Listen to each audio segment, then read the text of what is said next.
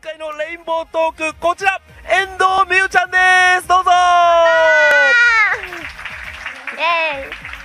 さあさあ美優ちゃん、はい。どうですかレインボートークですけども自信の方は？私もトークに自信が全くないので、えうん。見てる皆さんなどもうコメントなどでどんどん助けてください。なるほどね。みんなと一緒にね共有していきたいですもんね。はい。はい参りましょう。それでは2分間でございます。頑張ってください、はい。参りましょう。遠藤美優ちゃんのレインボートークスタート。はい、えーふわふわの14歳遠藤美優です、えー今日は初めて原宿駅前ステージでレインボートークをするのでたくさんの方に私のことを少しでも知ってもらえるように今日は取扱説明書を用意してきました。ああいいですね取扱説明書取説、い遠藤美優の取説お願いします。はい。それではいきますよ。はい。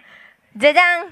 遠藤美優のいいですよいいマイクの音あ取りがとう、扱説明書、うんその。1その1じゃーん喋るときに口があまり動かないのでうん。聞き取りづらいです、あ なるほど、はい。これはあのデメリットではないメリットチャームポイントとしていくってことですね。はい。もうちょっと自分でディスってるような感じもするんですけど。あの芸能界を目指す上で 目指すというか成功する上で直す気持ちはどうあですあるんです、はい。なんか最初は空いてたつもりででもなんかみんなになんか空いてないよって言われて、うん。なんかだからお店みたいですね。開いてないよみたいな感 だから聞き取りづらいのかなと思うので、はい。私ちょっと今日頑張って喋るので、はい。皆さんも頑張って聞き取ってください。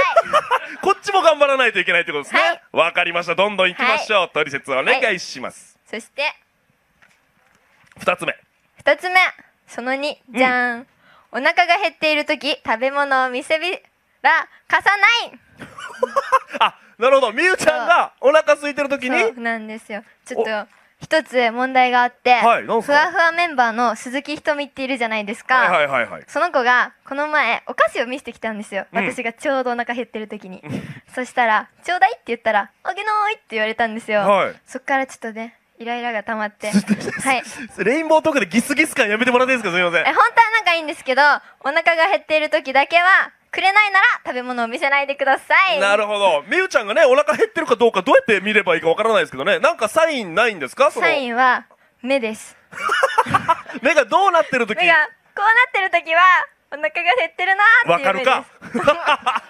分かってください。了解です。見るようにします。さあそして3つ目お願いします、じゃーん。さすがと言われるととても喜びます。おおなるほど褒めて伸びるタイプなんですねみゆちゃんは。そうなんですよ。なるほど。ありがとうって言われたら喜んでたんですけど、はい。私数学が好きでうん。この前のテストで結構いい点取ったんですよ。お学年でも上位の。はいちなみになんこれ何点か言ったらじゃあみんなでさすがって言ってくれるんじゃないですか、えーじゃあもう時間がないですからね。最後これでいきますよ。ちなみに何点だったんですか？はい91点です。おお皆さんどうぞどうですかみゆちゃん嬉しいいいですねなんか レア感があるさすが。すごい。あ時間ということではい。終了、ありがとうございました。さすがみゆちゃん。いかがでしたかレインボートークやってみて。